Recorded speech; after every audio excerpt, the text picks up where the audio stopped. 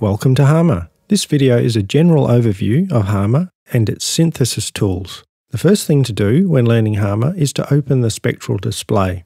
Do that from this switch here. It shows the partials or harmonics sent to the synthesis engine. Octave mode is just another vertical scaling. The main synthesis controls appear in the upper display here although there is an image and resynthesis section under the IMG tab, which we'll have a look at later. With regard to synthesis in Harmor, there are two identical parts A and B that operate in parallel. Change between these using the A-B switch. By default, A is active and B is not. You activate the parts with these switches down here. You can use the slider to fade between them. Here is part A, and B. Like most controls, you can right click it and reset to the default. Related to the parts, you can click the link control here and then any change on one part will be replicated in the other. For example, this pluck filter. So now both pluck filters are the same. If I unlink it, then the changes are independent.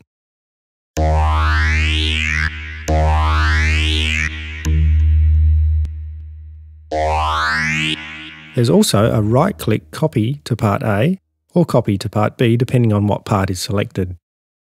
A nice feature of Harmor is that most controls feature articulation or modulation envelopes, and you can see the envelope panel down the bottom. For each target there is a range of articulation parts. So the volume, for example, can be controlled simultaneously by each of these parts. Before many envelopes become active, this switch needs to be selected here. For example, we currently have selected the volume envelope for part A for the Timbre 1 sawtooth wave. If I activate the envelope, we get the volume modulation.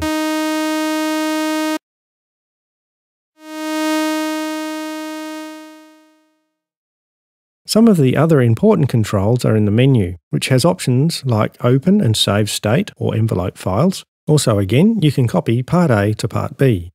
You can also lock to tempo. If I select the snap option, it now snaps to the background grid.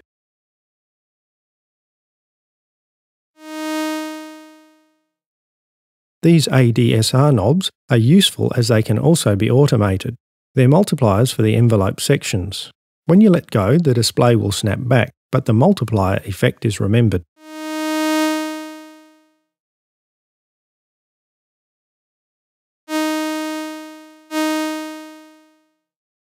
Curve points have right-click menus and most are set to a single curve type. Another nice feature of the interface is that rather than hunting in the list of articulation targets, you can right-click controls, let's say the filter cutoff frequency, and select Edit Articulator. The default articulation part is the LFO. So let's have a look at these controls. Remember first to activate the LFO envelope. We can change the speed here. Tension, the shape, etc. To change the amplitude, grab this point here.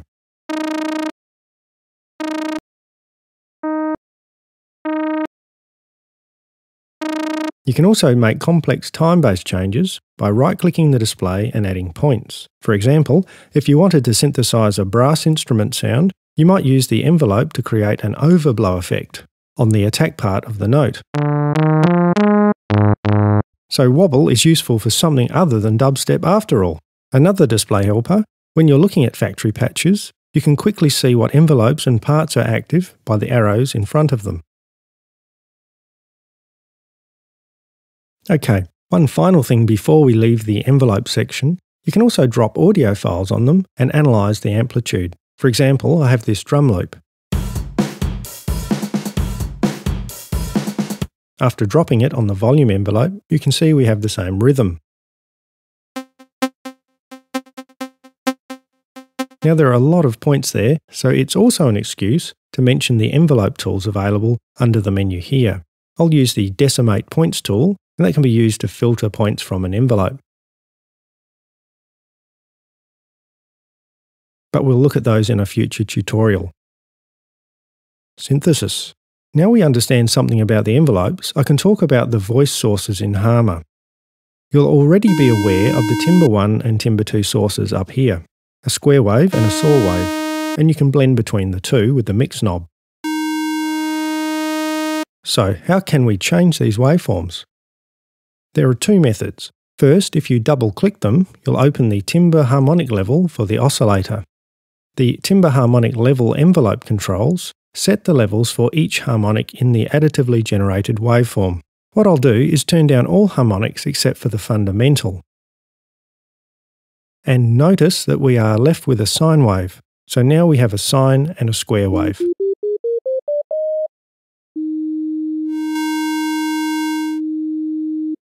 Now, additive synthesis is all a bit too complicated for me, and fortunately there is an easier way to obtain waveforms. Here I have a single cycle waveform in Edison, FL Studio's audio editor, and I can drop that on an oscillator and it will be analysed and duplicated. Easy. You can right click the timbre windows to browse and load a file too. Next, let's consider a very cool audio source, resynthesis. Start by selecting the resynthesis preset and then drop any sample onto the image window. The sound you're now hearing is my voice after it has been resynthesized in Harmor. So you can hear the quality of resynthesis is excellent. In fact, you'll be struggling to tell it apart from a sampler. There are a number of controls, including some useful ones like speed, It's like speed, and use this one to relocate the time from here to here to here to here to here to here, from here and here. You probably noticed that I can jump about in the sample from the keyboard, the sound you're now hearing, the sound you're now hearing, so you can hear so you can hear that there are a number there are a number of how to do that. I'm using the image time offset envelope to map the start time as a function of keyboard key. Now it gets better. You don't need to program that envelope manually. So, there are there there from from here. What I did was put my sample in Edison, or you can use any audio editor that can add audio markers and I put markers at the points where I wanted to play from. The sound, the sound you're now, so you, so you, so you can, there are, there are, there are a number of controls, including some useful. Then in Harmor, from the image options menu, I selected map audio markers to keys, and Harmor creates the envelope for you. Now I don't have time to cover everything in this tutorial, but I'll point your attention to the format control down here. The sound you're now hearing is my voice. Ah, the sound you're now hearing is my voice after it has been resynthesized in Harmor. So you can hear the quality of resynthesis is excellent. In fact, you'll be struggling to tell it apart from a sampler. There are a number of controls, including some useful ones like speed. Make sure the mix to the right is at 100% to hear it. Finally, you can convert an audio to an image file and then edit it in an image editor or load images to hear how they sound.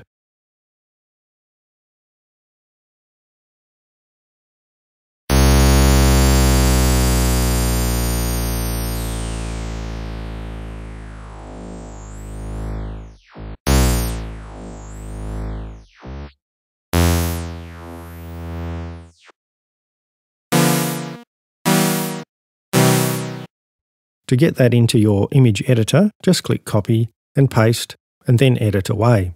Then paste back into Harmor. But we're going to have to leave that for another tutorial as well. Next we have the Effects section. That really doesn't need much explaining except that you activate the effects from these switches. Or some, like distortion and chorus, need a type selected before they become active. And last, we have the Advanced tab. A feature you'll probably find useful here is the ability to reorder synthesis units as shown above. You can put your mouse over the unit and roll the wheel, or click them to change the order in the stack. Top is first, bottom is last. You can rearrange the effects in the same way too. A few other notable controls, you can change the precision of the resynthesis, usually generic is enough. You can denoise your samples here, and the side switch is selected when you use the template resynthesis preset for importing stereo samples. Monophonic modes here, and some quality settings. But I've already shown you too much, and you'll just be encouraged to start fiddling back here, which you shouldn't. It's for advanced users like, um, like, like Charles Deluxe. With that, and since I've been boring you to death with blips and bleeps, I'm going to leave you with a downloadable FL Studio project from Charles Deluxe, showing just what Harmor can do in the hands of the talented.